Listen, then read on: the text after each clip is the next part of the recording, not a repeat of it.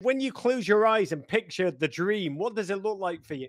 you, we're one of the biggest soccer clubs in the world, not just women's. Like we're on the level of Barcelona, we're on the level of Liverpool, we're on the level of the Yankees and the Dallas Cowboys. So when you think about who is the best and who is the biggest, Angel City's part of that story, and that has always been our goal. So who knows what's possible?